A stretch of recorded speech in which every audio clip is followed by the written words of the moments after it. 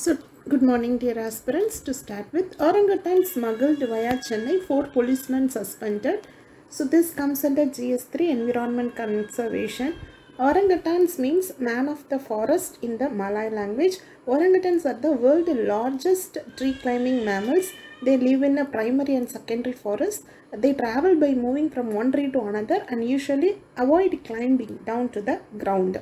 So there are three species of orangutan, the Bornean, Sumatran and Tapanuli, which actually differs in little only in appearance. All these three kinds are listed as a critically endangered. This is important. All these three species are listed as a critically endangered by the uh, uh, by the IUCN.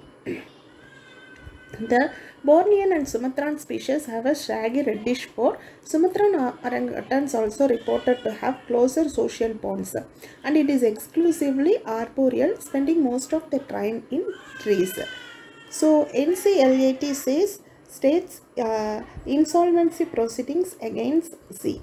Okay, so this comes under GS3 capital market. National Company Law Tribunal or NCLT is a quasi judicial body in India adjudicating issues concerning companies in the country. It was formed in June 1, 2016 as per the provision of the Company Act 2013. Okay.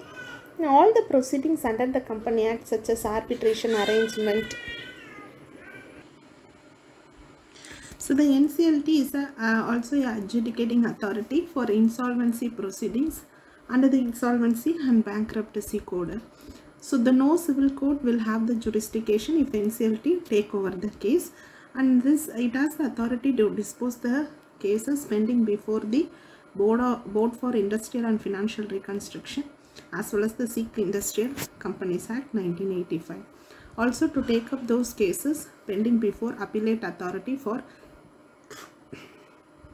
industrial and financial reconstruction it can also take up cases relating to the operation and mismanagement of a company.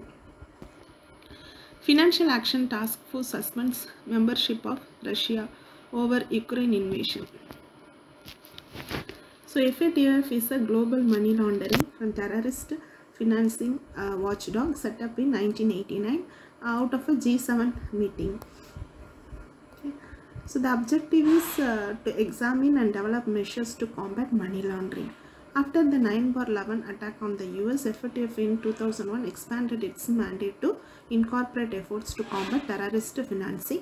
In April 2012, it added efforts to counter the financing of proliferation of WMD, weapons of mass destruction. So, in April 1990, less than one year after its creation, FATF issued a report containing a set of 40 recommendations. So, to provide a comprehensive plan of action, needed to fight against money laundering. In its ninth special recommendation, it strengthened the international standard for combating money laundering and terrorist financing.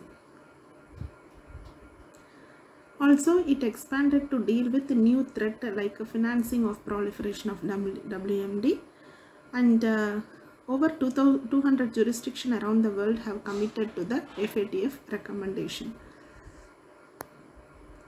FATF is a plenary, uh, plenary uh, uh, decision making body of the FATF plenary is the decision making body of the FATF and it meets three times per year. As of today, it is has a three, 39 member body representing the most major financial centers. Out of 39 members, there are two regional organizations, European Commission and the Gulf Cooperation Council. Thank you.